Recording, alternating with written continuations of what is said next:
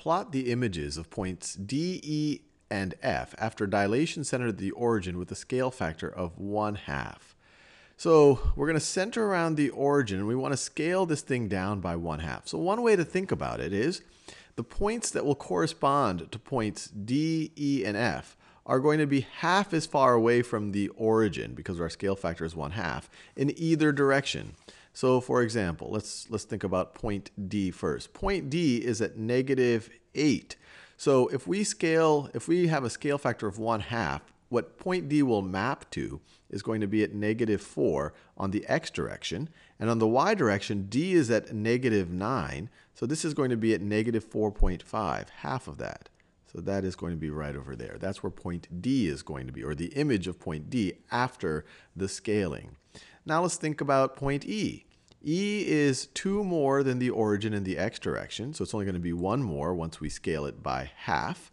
And it's 7 more in the y direction, so it's going to be at 3.5. 7 times 1 half is 3.5, so we're going to stick it right over there. And then finally, F, it's 6.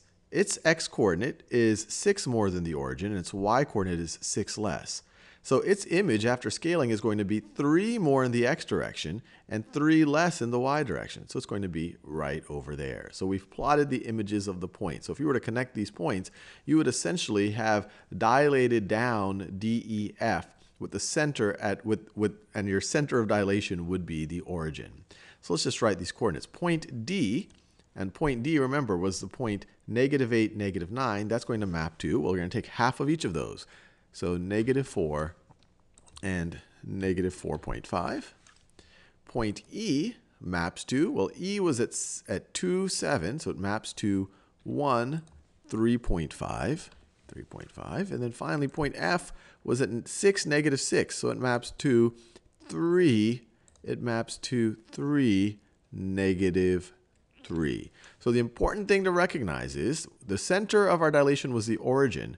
So in each dimension, in the x direction or in the y direction, we just halved the distance from the origin because the scale factor was 1 half. We got it right.